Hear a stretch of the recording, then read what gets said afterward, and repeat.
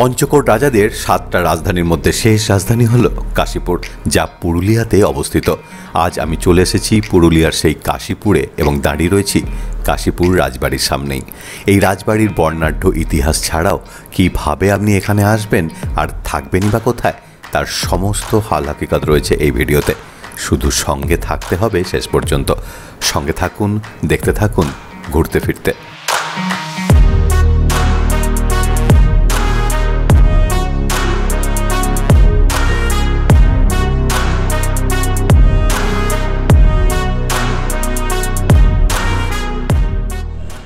দুর্গা পূজাটা পনেরো দিন আগের থেকে হয়।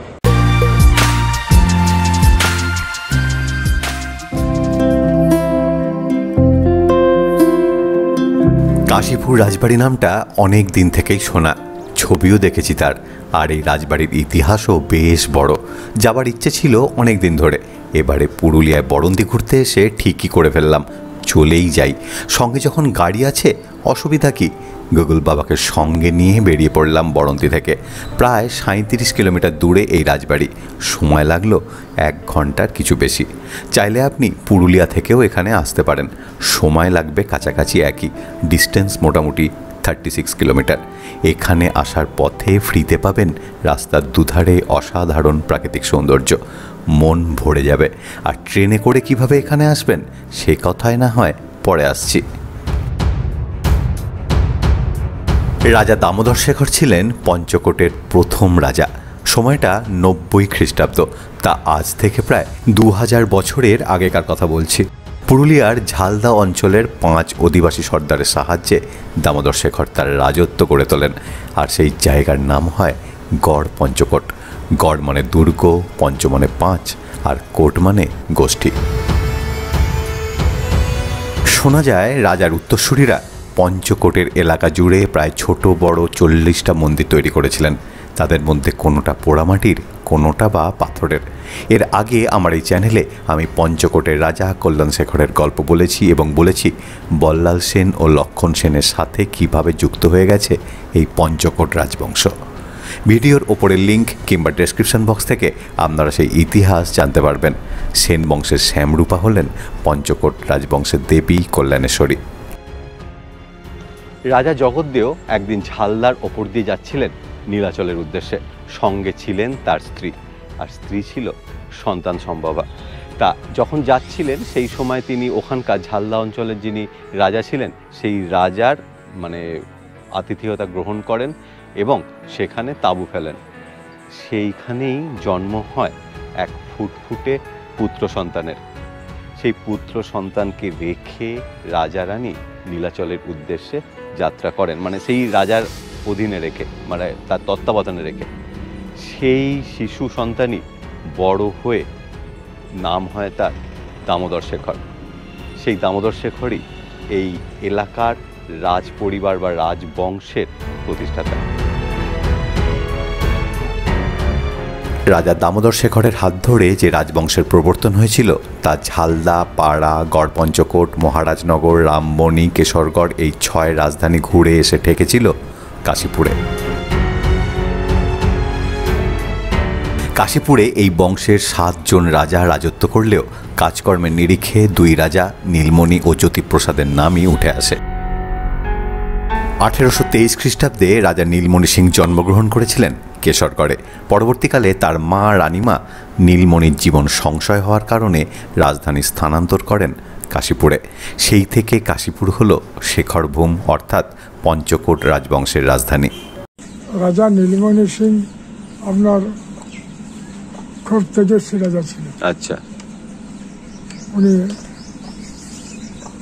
আঠারোশো সাতান্ন খ্রিস্টাব্দে আলিপুর জেলে যান। মানে সিপাহী বিদ্রোহের সময়? আশিপুর উনি টাকা ছিটেন না আচ্ছা।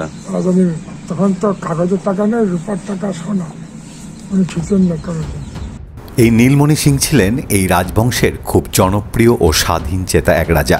সিপাহী বিদ্রোহের সময় ইনি বিদ্রোহীদের সহযোগিতা করেছিলেন এবং তার উদ্যোগেই তৎকালীন ইংরেজ সরকারের ট্রেজারি লুট হয়েছিল।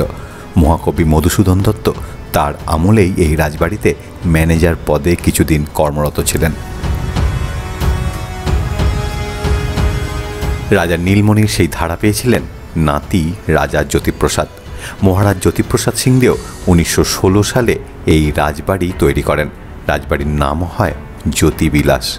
তিনি চীন থেকে রাজমিস্ত্রি এনে এই রাজবাড়ি তৈরি করেছিলেন। টানা বারো বছর ধরে চলেছিল এই নির্মাণ কাজ। মহারাজ জ্যোতিপ্রসাদ সিংদেও উনিশশো ষোলো সালে এই রাজবাড়ি তৈরি করেন। এই রাজবাড়ি তৈরি করার জন্য চীন থেকে রাজমিস্ত্রি আনা হয়েছিল। মানে চীনারা এই রাজবাড়ি তৈরি করেছিলেন। তা এই রাজবাড়ির ভেতরে যে রাজ দরবার আছে, সেখানে আছে বেলজিয়াম থেকে আনানো একটা বড় ঝাড় লণ্ঠন। কাশীপুর রাজবাড়িতে দু হাজার বছরের প্রাচীন ঐতিহ্য অনুযায়ী দুর্গাপুজো শুরু হয় জিতা ষষ্ঠীর পরের দিন থেকে। রাজা কল্যাণ শেখরের সময় থেকেই এই পুজো শুরু হয়েছিল। শ্রী রামচন্দ্রের ষোলো কল্পক্ষত্রীয় রীতি মেনে ষোলো দিন ধরে চলে মা দুর্গার পুজো। রীতি মেনে প্রতিদিন ছাগ বলি দেওয়া হয়। একটা সময় গম গম করত রাজবাড়ি। দাস, দাসী, আত্মীয় স্বজনে ভরপুর থাকতো এই বাড়ি। সবসময় লোকের আনাগোনা লেগেই থাকতো। সে সময় এখন অতীত। পুরনো দিনের সেই কথা শুনলে এখন গল্প বলেই মনে হয়। আজ রাজ পরিবারের সেই জাঁকজমক, চৌলস কিছুই নেই। কিন্তু ঐতিহ্য আর সাবিকিয়ানা পুরোপুরি থেকে গিয়েছে। আমি এখন দাঁড়িয়ে রয়েছি রাজ রাজেশ্বরী মাতার মন্দিরের সামনে। এই রাজ রাজেশ্বরী মাতার মন্দির প্রতিষ্ঠিত হয় তেরোশো সালে বাংলার। আর এই মন্দির প্রতিষ্ঠা করেন মহারাজা জ্যোতিপ্রসাদ সিংদেও। তা এই রাজবাড়িতে মোষ বলি, পাঁঠা বলি দুয়েরই মানে এই মন্দিরে মোষ বলি, পাঁঠা বলি দুয়েরই প্রচলন আছে। দুর্গাপুজোর সময় এই যে ছোট হাঁড়িকাঠটা দেখছেন, এটাতে পাঁঠা বলি হয় আর এই যে বড় হাঁড়িকাঠটা দেখতে পাচ্ছেন, এখানে মোষ বলি হয়। আসলে রাজরাজেশ্বরী আর বর্তমানে মাইথনের মা কল্যাণেশ্বরী একই। তাই পঞ্চকোটের এই দেবীর মাহাত্মের কথা এখানে লোকের মুখে মুখে ফেরে। দেবী এখানে দশভূজা নন। এখানে দেবীর হাত চারটি। বছরের প্রতিটা দিন মন্দিরে দেবীর পুজো হয়ে থাকে। এখানে দুর্গা পূজাটা পনেরো দিন আগের থেকে হয়। মানে দুর্গাপুজোটা পনেরো দিন আগে থেকে হয়? দিন আগের থেকে তো দুর্গাপুজো পনেরো দিন আগে থেকে মানে কবে? ষষ্ঠীর আগে পনেরো দিন নাকি? না হ্যাঁ ষষ্ঠীর আগে পনেরো দিন আগের থেকে। আচ্ছা। তারপরে ষষ্ঠী সপ্তমী অষ্টমী নবমী বিজয়া দশমী এগুলো আছে। আচ্ছা আচ্ছা। টোটাল তাহলে পনেরো আচ্ছা একুশ দিন মতন পুজো হয়। একুশ দিনের মতো পূজা হয়। রাজ পরিবারের সব আসে আচ্ছা। যেখানে যেখানে রাজ পরিবার আছে আচ্ছা আচ্ছা।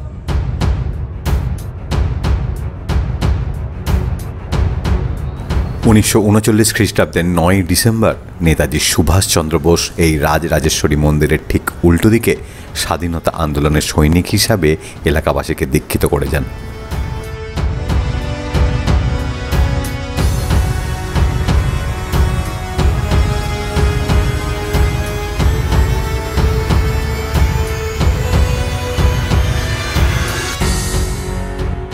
রাজবাড়ির দেবতা ছিলেন রঘুবীর, শ্যামচাঁদ, বঙ্কবিহারী ও মদনমোহন।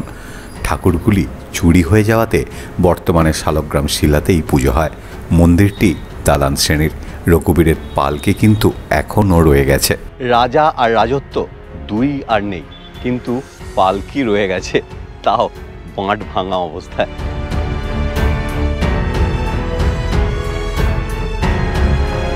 আমার পেছনেই দেখছেন রঘুনাথজির মানে ধর্মশালা বা এটাকে ঠাকুর দালানো আমরা বলতে পারি। এখানে ভক্তরা এসে বসে থাকতেন। তবে আমি দেখে যা মনে হচ্ছে, পেছনে এখন ঝোপঝাড় জঙ্গল হয়ে গেছিল, সেগুলো এখন রেনোভেট করে, পরিষ্কার করে সমস্ত কিছু করা হচ্ছে এবং কাজও চলছে।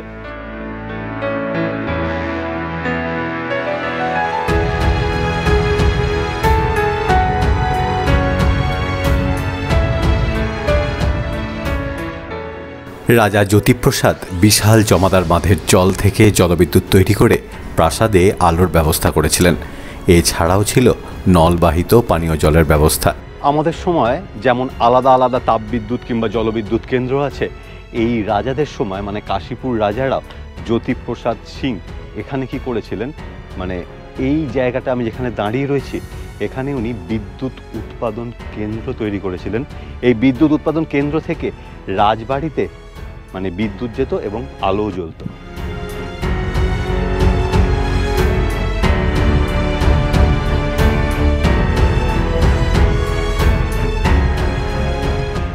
আমার পেছনেই রয়েছে জমাদার বাঁধ। এই জমাদার বাঁধের জল ব্যবহার করেই তৈরি হতো জলবিদ্যুৎ আর আমি যেখানে দাঁড়িয়ে রয়েছি, এইখানে ছিল বিভিন্ন মোটর পাম্প যেখান থেকে জল সরবরাহ হতো আর বিদ্যুৎ উৎপাদন হতো। আমার ঠিক পেছন দিকেই যে জায়গাটা দেখালাম, সেই জায়গাটাতে।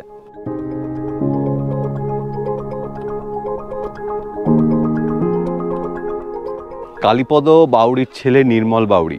এখানে কালীপদ বাউড়ি কাজ করতেন মানে পাম্প হাউসে, রাজার পাম্প হাউসে কাজ করতেন। তা ওনার ছেলের দেখা পেয়ে গেলাম নির্মল বাবুর সাথে। আপনার বাবা কি করতেন এখানে? এখানে আমার বাবা ওই ইলেকট্রিক সব সাপ্লাই সাপ্লাই করতেন, জল সাপ্লাই আর করতেন। পাম্প ফাম্প চালানো? পাম্প সব চালাতেন দায়িত্বে ছিলেন উনি।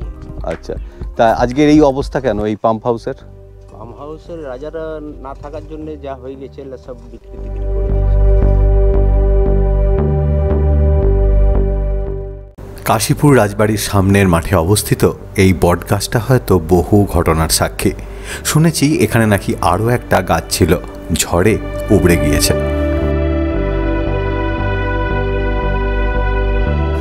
প্রায় উনিশশো বছরের শাসনকালে পঞ্চকোট রাজপরিবার কোনো প্রজা বিদ্রোহের সম্মুখীন হয়নি। উপরন্তু, রাজপরিবারটির অভ্যন্তরীণ বিপর্যয়, এমনকি রাষ্ট্রবিপ্লবে পঞ্চকোট রাজপরিবারের পাশে দাঁড়িয়েছেন প্রজারা। সারা পঞ্চকোট জুড়ে রয়েছে বহু জনজাতি। সাঁওতাল, কোল, ভূমিজ জাতির লোকেরা নিঃসংকোচে তাদের জীবনযাপন, ধর্মপালন, উৎসব, অনুষ্ঠান করে গেছেন পঞ্চকোটদের রাজত্বে। রাজদণ্ড। কখনোই প্রজাদের স্বাধীন জীবন চর্চায় বাধা হয়নি। সংকীর্ণতার ঊর্ধ্বে উঠে এই পরমত সহিষ্ণুতার নিদর্শন সেকালে দুর্লভ। বাংলায় একটা প্রবাদ আছে, বাঁশের চেয়ে কঞ্চি দড়। আমার কাশীপুর রাজবাড়ির ওপর এই ভিডিও আরও একটু সমৃদ্ধ হতো, যদি রাজপরিবারের কারোর সাথে দুদণ্ড কথা হতো। গেটের দায়িত্বে যিনি রয়েছেন, তিনি আমাকে বারবার বললেন যে, রাজপরিবারের যারা আছেন, তারা নাকি বাংলা বোঝেন না। হাস্যকর যুক্তি। আপনারা আমার ভিডিও দেখেন এবং আমি চেষ্টা করি সেই ভিডিওর মধ্যে যতখানি সম্ভব সত্যটাকে তুলে ধরার। দেখুন, লোকের মুখে মুখে অনেক কিছুই প্রচলিত হয়ে পড়ে। তার মধ্যেই যতখানি সত্য, সেটুকুই তুলে ধরার চেষ্টা করি। কিন্তু এই রাজবাড়ির সামনে আমি প্রায় দাঁড়িয়ে রয়েছি আড়াই থেকে তিন ঘণ্টা। বারবার রিকোয়েস্ট করেছি, দুই, তিনবার রিকোয়েস্ট করেছি। ওনারা গেছেন, এখানকার যারা কর্মচারী আছেন, ভেতরে গেছেন, রাজারা বাংলা বোঝে না। পুরুলিয়ায় আমি দাঁড়িয়ে রয়েছি, রাজা বাংলা বোঝেন না। সেই জন্যেই উনি দেখা, রাজ মানে রাজমাতা যিনি আছেন, উনি বাংলা বোঝেন না বা রাজপরিবারের সদস্য যারা আছেন, তারা বাংলা বোঝেন না। সেজন্যে ওনারা আসতে চাইছেন না। অসম্ভব মানে একটা হাস্যকর যুক্তি। জানি না। আমি চেষ্টা করেছি যতখানি সম্ভব আমার দিক থেকে তথ্যপূর্ণ সহযোগিতা দিয়ে এই ভিডিওটাকে তুলে ধরার। এখানে এখানে যে মানে রাজমাতা যিনি আছেন ওনার ষাট ষাট ষাট বছরের ওপর বয়স। উনি কি বাংলা হিন্দি ইংলিশ তিনটেতেই সরগড় ইংরেজিটা আমি দেখেছি বলতে। বাংলা? বাংলাও বলে বাংলাও বলে। বাংলা বলতে এবং বুঝতে দুটোই পারে।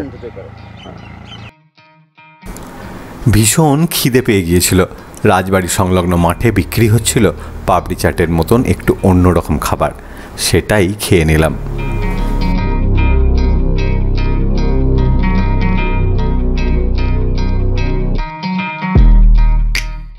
এটাকে কি ফুচকা বলে? পাপড়ি চাট। পাপড়ি চাট? আমাদের ওখানে তো পাপড়ি চাট এরকম হয় না। তোমাদের আলাদা টাইপের হয়। হুম। এখানে অন্যরকম পুরো। হ্যাঁ। আরেকটা হচ্ছে ভাঙা পাপড়ি যেগুলো জনসাধারণের জন্য রাজবাড়ির এক অংশ খোলা থাকে কেবলমাত্র দুর্গাপুজোর সময় এবং এখানে দুর্গাপুজো বেশ আড়ম্বরের সঙ্গে পালিত হয়। ট্রেনে করে কাশীপুর রাজবাড়িতে আসতে হলে আপনাকে নামতে হবে আদ্রা জাংশনে। সেখান থেকে গাড়িতে মাত্র আট কিলোমিটার। কিংবা আপনি রঘুনাথপুরে নেমে সেখান থেকে গাড়ি করে সরাসরি চলে আসতে পারেন এই কাশীপুর রাজবাড়িতে। আর থাকার কথা বলতে গেলে, আপনি পুরুলিয়া টাউন, রঘুনাথপুর কিংবা বড়ন্তি যে কোনো জায়গাতেই নাইট স্টে করতে পারেন। সেক্ষেত্রে এই কাশীপুর রাজবাড়ি ছাড়াও এই অঞ্চলের আরও অনেকগুলো দেখার জিনিস আছে। পরের পর্বে একটা দারুণ ইন্টারেস্টিং ভিডিও নিয়ে আসছি। পুরুলিয়া ঘুরতে এসে কীভাবে আমি একটা বিপদে পড়ে গিয়েছিলাম এবং সেই বিপদ থেকে উদ্ধার আমাকে করল কারা, সেই নিয়েই থাকছে ভিডিওটা এবং অবশ্যই সঙ্গে থাকছে পুরুলিয়ার দুরন্ত কিছু দ্রষ্টব্য। ততক্ষণ পর্যন্ত সবাই সুস্থ থাকবেন, ভালো থাকবেন আর ভিডিওটা ভালো লাগলে চ্যানেলটা সাবস্ক্রাইব করতে অবশ্যই ভুলবেন না। ধন্যবাদ।